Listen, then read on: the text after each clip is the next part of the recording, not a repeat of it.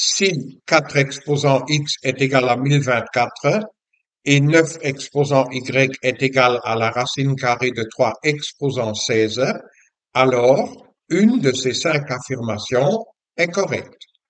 Partons de cette équation exponentielle 4 exposant x est égal à 1024. 1024, c'est 2 exposant 10. Et le 4, c'est 2 exposant 2.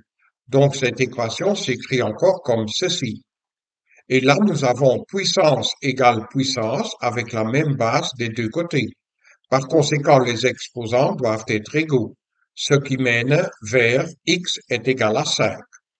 Regardons la deuxième équation qui est également une équation exponentielle en y.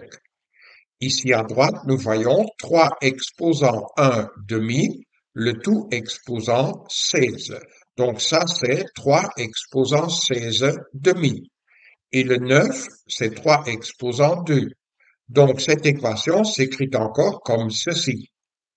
Et nous avons ainsi puissance égale puissance avec la même base. Et par conséquent, les exposants doivent être égaux.